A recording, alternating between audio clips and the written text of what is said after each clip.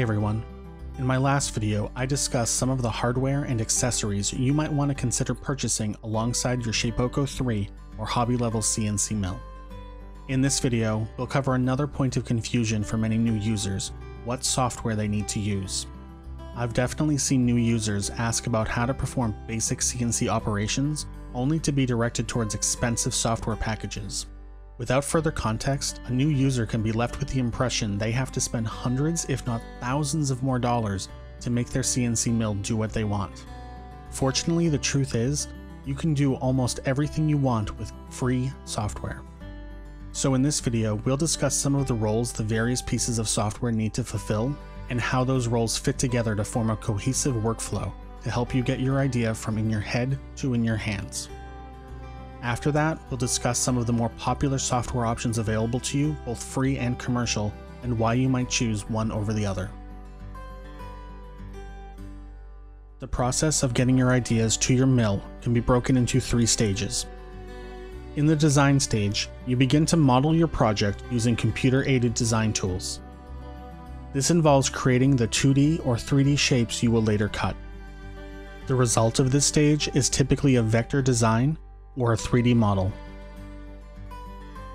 During toolpathing, you'll define your machining operations, choosing when, where, and how your CNC will cut out the piece. The result of this phase is a set of G-code instructions that will tell your CNC exactly how to move. Finally, the instructions generated during toolpath setup are used by your motion control software and the onboard controller to move the machine, hopefully in the way you desire. The various pieces of software we'll be discussing can fulfill one or more of these roles, and as a general rule, you can choose to use different tools to accomplish each of these stages. The graphic design software, like Inkscape and Illustrator, don't care about the final purpose of your design, their focus is simply on allowing you to draw the shapes. Likewise, the motion control software such as Carbide Motion don't really care what program generated the G-code, or even if you coded the G-code by hand, their job is simply to execute the instructions. Because of this, you can continue to use Carbide Motion even if you decide not to use Carbide Create. Carbide Motion is even happy to send 3D carving instructions even though Carbide Create doesn't support this feature at all.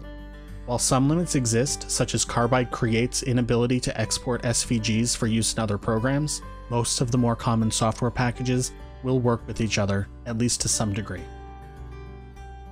Keeping these three steps in mind, let's talk about how some of the software you're likely to come across fits into this workflow.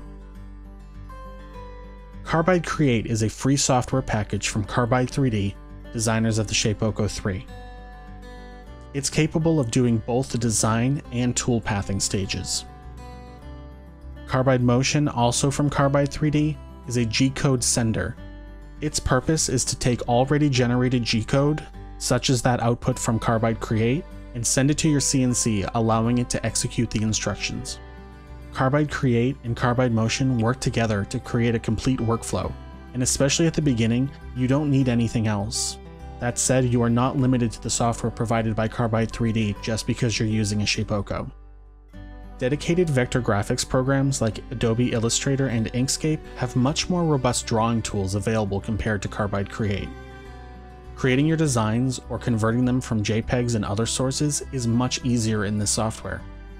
These programs are not designed specifically for CNC work, they work for any graphics drawing.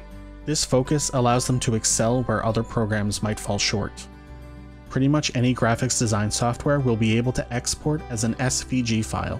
This standard file format can be used by Carbide Create, Vectric products, and most others.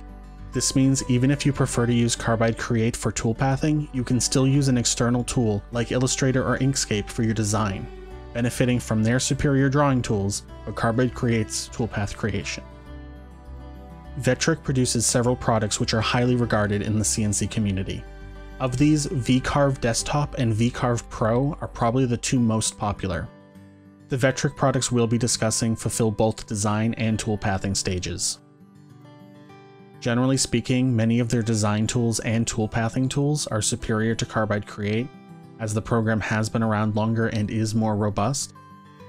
These advanced features do come with a price tag ranging from several hundred to almost $2,000. Another interesting and free offering is Fusion 360 from AutoCAD. This full 3D CAD package allows for advanced modeling techniques and advanced toolpathing. This is the only program in my list that allows for full three-dimensional drawing and toolpathing. Finally, while they're well beyond the scope of this video, there are alternatives to Carbide Motion as well.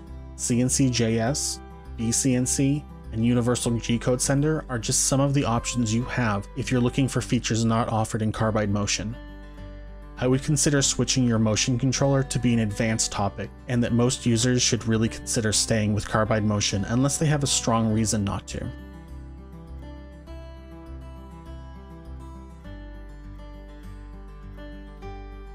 It may seem like this leaves you with a lot of options to have to research and choose from, but we can narrow it down quite easily. Unless you have previous CAD experience or a strong desire to do mechanical parts on your CNC, Fusion 360 has an unnecessarily steep learning curve for people wanting to do craft projects and other CNC work and who are just starting out. There are some other great resources on YouTube for using Fusion 360, so if you think that solution is right for you, I suggest you seek those out. We'll continue by discussing some of the pros and cons of the different software I've mentioned. Although Vectric makes a variety of products, to do a fair comparison, I'll be considering their VCarve software. This software comes in both a desktop and professional version, the primary difference between them being the maximum size of a project you can do. The desktop version is limited to 24 by 24 inches, which is more than enough for the standard size Shapeoko 3 but not enough to fully utilize the XL or XXL models. While there are some other differences between the two, that should be the main reason for buying one or the other, at least initially. As mentioned previously, Carbide Create is provided by Carbide 3D, the company that designs and makes the Shapeoko 3. It is the simplest of the software that I plan to compare, but that simplicity is not necessarily a downside. There are a lot of basic concepts one should master when starting with their CNC, in my opinion, using a program like Carbide Create allows a beginner to explore the world of CNC without overloading them with options, which to me makes this the most beginner friendly. There's also a loose integration between Carbide Create and Carbide Motion, allowing you to send your generated G-code right from Carbide Create to Carbide Motion without an intervening save step. In addition to these reasons, Carbide Create is both free and widely used by the Shapeoko 3 community. Because of this, there's a large number of users who can help you get over whatever problems you're having. Carbide Create is far from a perfect program. Its drawing tools can be quite limited and sometimes frustrating. While it's usually possible to draw whatever you need to right from within the program's interface, it is not always as smooth or hassle-free as it could be. When you find yourself ready to do more advanced projects that require inlays, two-sided milling, peck drilling, and so on, Carbide Create doesn't offer these features, that's not to say you can't perform these operations in Carbide Create, but the process is manual. Again, whether you consider that to be a benefit, forcing you to learn your CNC inside and out, or a drawback by slowing you down and forcing you to learn a manual operation, is up to you. Finally, there's limited file support from Carbide Create. Carbide Create is only able to import SVG files in addition to their own native format. This usually isn't a big problem, but if you download designs from the internet and they don't come in SVG format or already configured for Carbide Create, you may need additional third-party software to convert the two. Considering the limitations of Carbide Create, one can easily see why VCarve Desktop and Pro have become so popular. Their drawing tools are a significant step up from Carbide Create. It's hard to describe exactly why, because every tool just feels a little more intuitive and a little easier to use. VCarve will also give you the option from day one of doing those more advanced operations such as inlay creation, peck drilling, two-sided milling, and so on. You can begin using these advanced features before you really understand what the machine is doing or why. If you're trying to start making projects as quickly as possible, or want to remain more focused on what you can create and not how it's created, this is actually a huge benefit and can save you a lot of learning time. Unlike Carbide Create, VCarve can open files in a lot more native formats. When I use it, I'm able to import my Adobe Illustrator designs without first having to save them to a third-party format. If you find yourself frequently moving designs between software, this can be really helpful as well. The real significant downside to using VCarve is the cost. VCarve Desktop currently costs $350, and the professional version is double that at $700. For many people who bought their Shapeoko 3 because it was an affordable CNC option, adding a third to half of the price of their machine over again, just in software, can be a bit daunting. Finally, that will bring me to my recommended workflow. As good as VCarve's drawing tools are, I actually find the drawing tools of Adobe Illustrator and Inkscape to be superior. These programs are extremely robust, and the time spent learning them is incredibly valuable. While I may be biased as I've used them for years, I find it much easier to design what I want in these programs than anything else. In addition to letting me draw my designs from scratch, I can also easily work with images from the internet, converting them into the vector format needed. The value I find in these tools is not limited to CNC. I highly recommend them because they open up a world of digital creating.